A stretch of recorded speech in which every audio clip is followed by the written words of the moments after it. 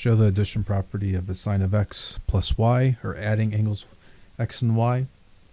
So using the sine, we're going to have this.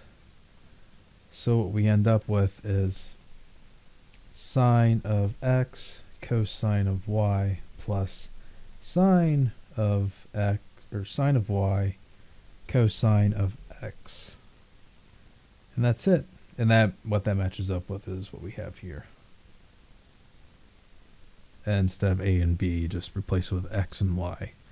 So anyway, that's how you do that. All right, hope that helped you out. Thanks for watching. Have a great day.